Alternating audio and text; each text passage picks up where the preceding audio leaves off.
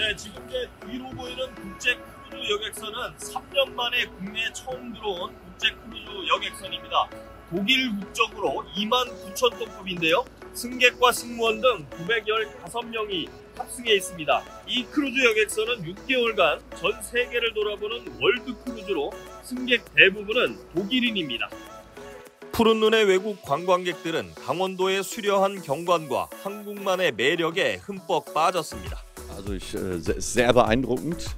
Ne? Also es ist äh, unglaublich, wenn man hier hinkommt, so diese Atmosphäre zu spüren, die Landschaft darum Also es ist sehr, sehr beeindruckend hier. 크루즈 여객선은 이틀간 속초항에 머물 예정인데요. 승객과 승무원 등은 설악산과 고성 기엠지박물관, 강릉 정동진 일대 등 영동 지역 주요 관광지를 둘러본 뒤 부산항과 제주를 거쳐 다시 일본으로 돌아갈 예정입니다.